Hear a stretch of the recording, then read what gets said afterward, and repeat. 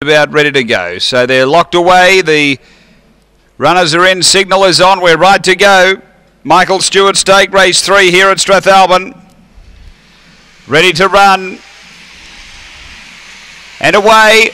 And from the uh, toward the inside, Pad Tig out quickly. Waiting begins well. Absolute Zero getting busy. A line of three.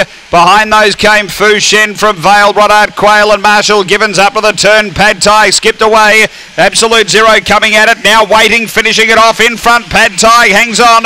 Pad Tig beats uh, in second spot. Waiting. Uh, they were followed by Absolute Zero, and then came Fu Shen with Marshall Givens, Rodart Quayle. It was back toward the uh, tail end. The time here is 18 and 53. After uh, race number three, numbers are two, six, one, and 7. Number two, uh, Pad Tig, Kel Douglas. That's four wins from 12 over the track and trip now for Pad Tig. A Black Bitch, February 2013, Collision Rafferty Flyer. Number two, first, second, going to six, waiting. Alan Front.